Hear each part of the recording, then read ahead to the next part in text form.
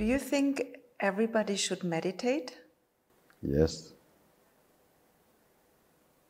Short answer. okay.